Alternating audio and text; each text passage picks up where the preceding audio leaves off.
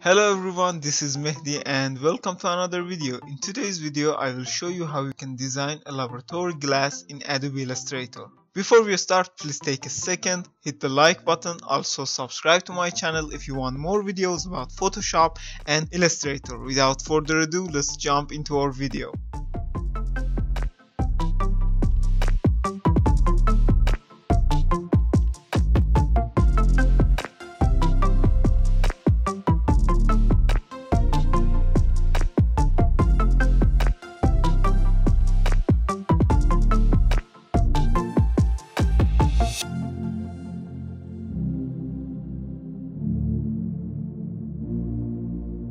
thank you